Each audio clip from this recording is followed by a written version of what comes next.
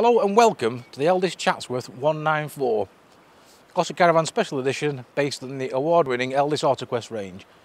So externally, we've got alloy wheels, automatic headlights, automatic wipers, wind out Dometic sun canopy, external gas barbecue point, large garage door, and there's one either side, tons of storage for bikes, boxes, everything you could think of. Now on the driver's side, so here you've got your water fill up for your onboard water tank and an external cold shower. And I'll just show you the rear garage.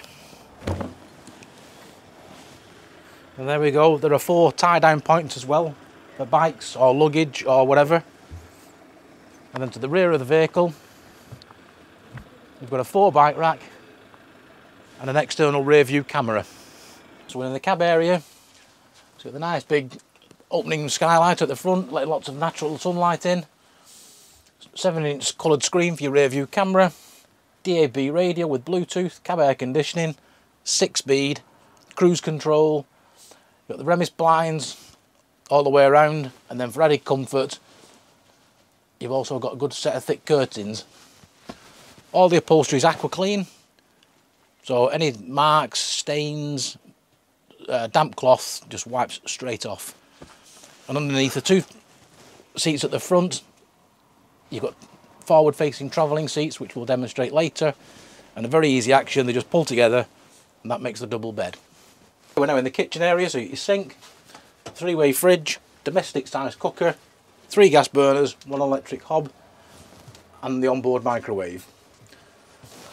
Side bathroom, and as we approach the rear, now there's two single beds. Now there's a small insert to make it into a double bed. Nice Hypnos mattresses, guaranteed a good night's sleep. To the very rear of the van there's also a couple of USB charging points. Uh, and above the kitchen area there's a two-way extractor fan. So we've now come to the end of our tour, so we just thought we'd wind the canopy out just to show what it looks like on a nice sunny day. Um, so this has been the Elddis Chats with 194. Thanks for watching and any further information please go to glossopcaravans.co.uk. Thank you.